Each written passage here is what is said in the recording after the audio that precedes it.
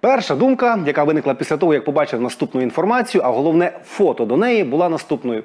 Та ну фейк не може бути.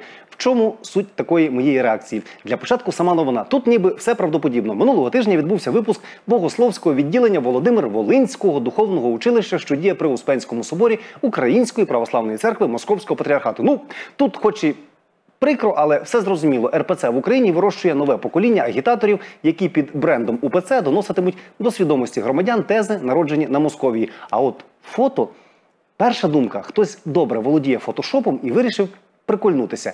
Як виявилось згодом, не прикол, не жарт, а гірка та Даруйте вже за суб'єктивність, маразматична реальність. Випускники духовного училища одягнуті у форму ідентично до вбрання кадетів 19 століття на царській Росії у формі майбутніх офіцерів часів царя Ніколая II, якого канонізувала РПЦ. На секундочку у 21 столітті в Україні, на яку власне і напала Росія.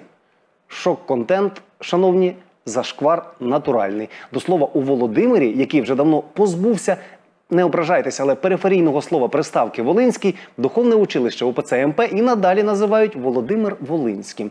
Допускаю, що під час вручення дипломів могло лунати Боже царя храні, або з дозволу сказати.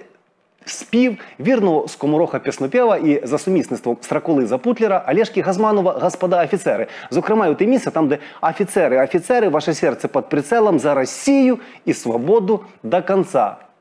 Було би доречно. Насправді ж сумно і навіть матюкатись хочеться, бо саме так і з'являються сховані підряси, агенти, у головах та серцях яких немає нічого українського, і головне завдання котрих змусити в унісон звучать серця, самі знаєте, з яким недонародом. Згідні? Ставте лайк. Свої ж враження від військової форми у духовному училищі на Волині лишайте під цим відео.